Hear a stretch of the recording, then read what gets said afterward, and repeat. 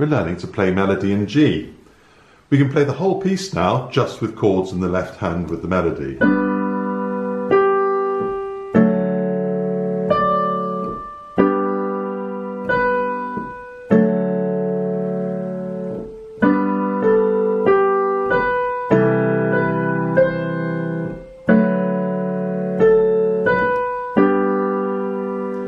Now, if that's all happening okay, and you can play through all of that, it's time to look at this next bit. If not, you need to go back to the previous videos and make sure you've been through those really thoroughly.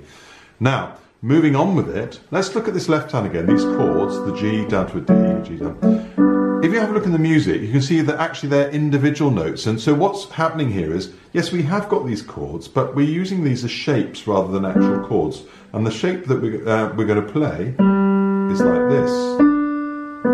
So it goes bottom, middle, top, middle, and that happens on most of the chords. So the first bar is in a G position, so it goes bottom, middle, top, middle, and we'll pause, down to the D position, and then we have the same pattern. Bottom, middle, top, middle, pause, back up to the G position, bottom, middle, top, middle, and pause, move to the D, now have a look at the music. At the end of the first line, it goes bottom, middle, top, and stops.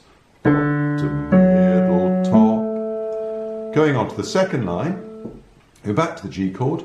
Bottom, middle, top, middle, pause. Down to the C chord. Bottom, middle, top, middle, pause. Move to the D position. Bottom, middle,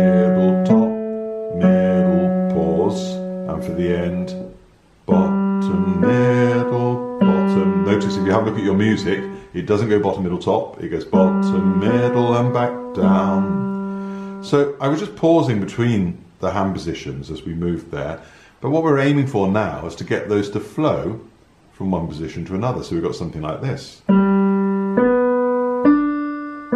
D position, G position. Second line, G position. Down to the C position, up one to the D position, returning to the G position, and back down on the last note. Let's see how that would work now with the tune. So you'll probably need to pause this video a few times and go back over what I've just shown you there. But when you're happy that you've got these nice, what we call broken chords, it's time to try put the mel melody over it. So we get this. Pause, set up the next thing. So the right hand's just going to stay where it is, 2, 5. Pause. Move your left hand back to the G chord, 1, 3. Pause, down to the D position. Second finger's going to be held here. So that's the end of the line. Then second line, back to the G position. Now, if you have a quick glance at the music, can you see the right hand and the left hand are all moving at the same time now? So we're going to get this. Now,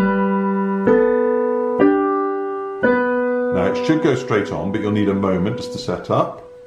Got your second ready there. Down in the C position, we walk up. And then there's that extra note in the left hand, which you can see in the music. Then the D position, hold on the three, and then they move together to the G.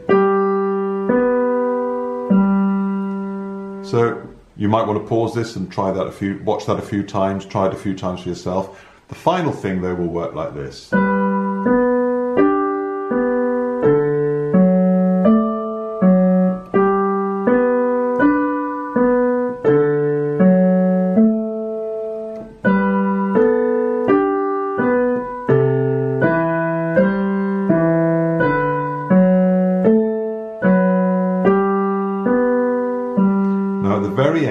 Might have noticed instead of doing this and hopping all the way up, as I only had two notes to play there, I did this instead and just used that onto there. It's just a smoother way of playing it. It's not a hugely important thing, but it's just a slightly more elegant way of finishing the piece.